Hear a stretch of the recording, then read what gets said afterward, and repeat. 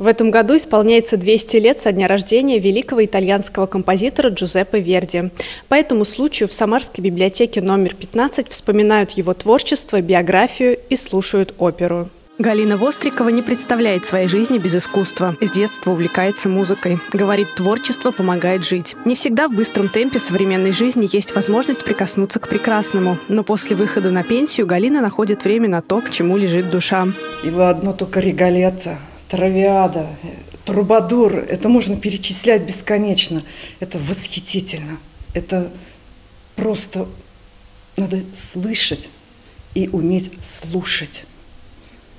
И черпать оттуда великое таинство музыки. 2023 год объявлен Министерством культуры годом музыки. По этому случаю в библиотеке проходит выставка, посвященная композиторам. На регулярной основе читатели библиотеки собираются на музыкальный час, чтобы познакомиться с творчеством и судьбой известных композиторов. В ноябре запланировано проведение еще одной музыкальной встречи, завершающей в этом году. Главным героем станет советский композитор Тихон Хренников. Библиотека – это не только хранилище книг, когда можно прийти, выбрать книгу любимого автора, но библиотека – это центр досуга, культурный центр. Поэтому для своих читателей мы готовим мероприятия, связаны и с их запросами, и с тем, что важно в нашей стране. 4 ноября библиотека присоединится к всероссийской акции «Ночь искусства». Анонсируется работа музыкальных танцевальных площадок, мастер-классы от художников и другие активности. Галина Топилина, Сергей Баскин. События.